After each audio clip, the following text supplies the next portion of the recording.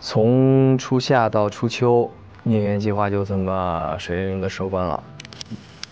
一开始呢，参加这个节目就是抱着学习跟交流的心态来的，小小的 勇闯一下音乐圈，结果没想到就根本停不下来啊！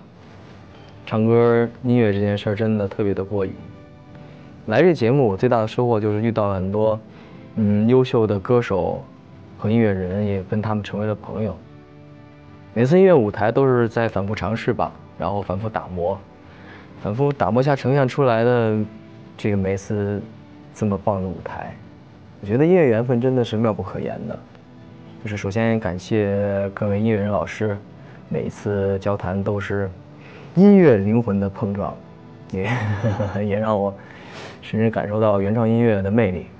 嗯，真的，它有着无限的创造力跟生命力。这段勇闯音乐圈的这个撞冰山 音乐园计划之旅真的很给劲，下次还来，还来，还来！也希望大家多多支持原创音乐，支持音乐园计划，支持江苏卫视、爱奇艺。希望我们每个热血的夏天、美好的夏天、热浪的夏天都能见面。